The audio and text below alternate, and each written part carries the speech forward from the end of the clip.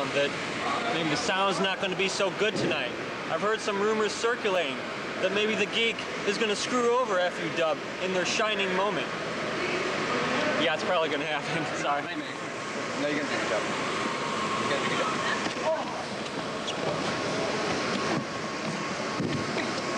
There's gonna be no sound tonight! And if there is, then I'm gonna cry!